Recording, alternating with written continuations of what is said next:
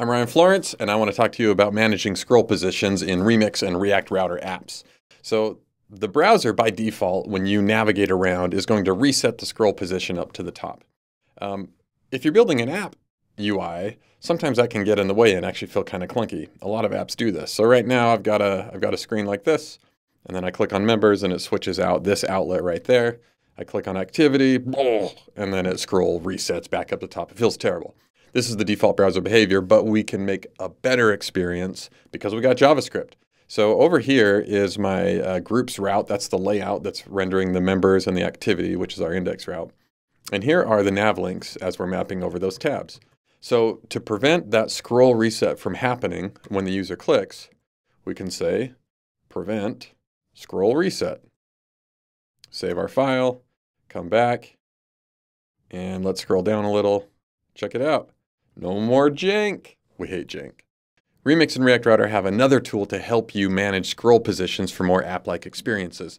At the moment, every single one of these entries in my history stack has its own unique position that it restores to, even though we're toggling between members activity, members activity. They're the same page, they're the same URL. But we will have four different scroll positions here that are all preserved by the browser. And this is default browser behavior, once again, emulated by React Router. So if I click back, you're going to see I'm on the members page and it's at this scroll position. Now I'm on activity. I'm going to click back one more time. I'll be back at members, but notice it's higher than last time. So it kind of creates this like jumpiness in the app when you're clicking back and forth or clicking other links to a page. Sometimes, if someone ends up on the members page, you want to put them right back where they were last time. You don't care if it's a specific entry in the history stack.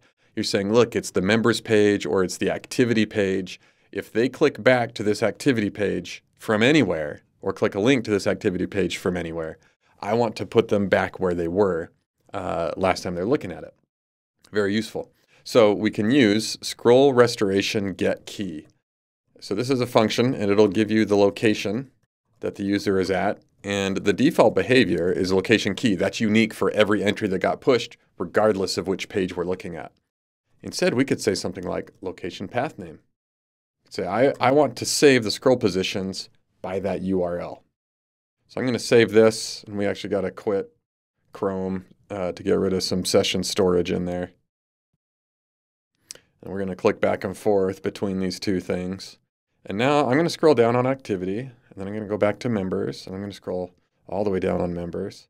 And now look, I click back again and I'm where I was for activity before. If I click back again to members, here's my scroll position. If I click forward to to members, notice it's in the very same spot as last time, even though that it's a different members history entry, we get this very same position. So even though I'm toggling between these two pages, they keep going to the same spots. So let's reverse this just to like really drive it home. Let's scroll all the way to the bottom on the feed. And then let's scroll all the way to the top on members. So I've got a whole bunch of entries in here. Let's go all the way back to groups. And so I'm at the very bottom over here for uh, activity. I'm at the top for members, forward again, bottom, forward again, top, forward again, bottom. I think you get it. so these are two ways uh, to help you create more app-like experiences and, and control the scroll position with just a couple of really simple props and functions. So hope you enjoy it.